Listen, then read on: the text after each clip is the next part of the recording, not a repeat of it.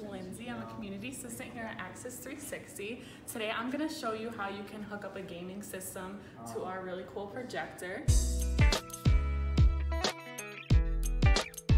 So the first thing you're going to do is walk over here and you're going to click projector power on Sometimes the projector is going to be turned off, sometimes it's going to be turned on. So the reason that you should start over here with the projector is because it does take a little bit of time to turn on. So this way you can hook up your switch or your computer while this is powering on. Um, so the, next we're going to come over here to your switch or whatever your system is and you're going to plug it in to the port right here. And then we actually provide you with an HDMI cable. Um, so you're going to hook this up to the wall and then to the back of your system.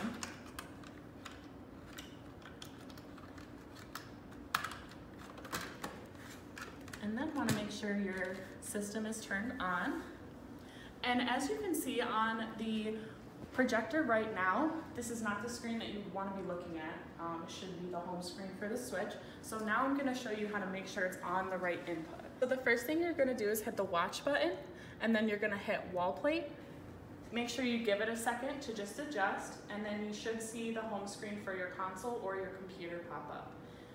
And there you go.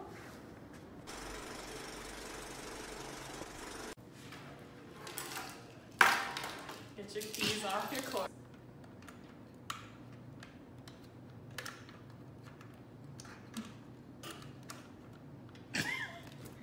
the very first thing you want to do is click the home button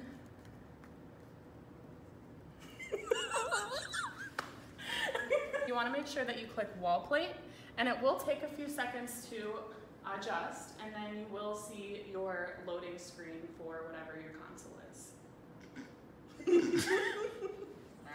Maybe sometimes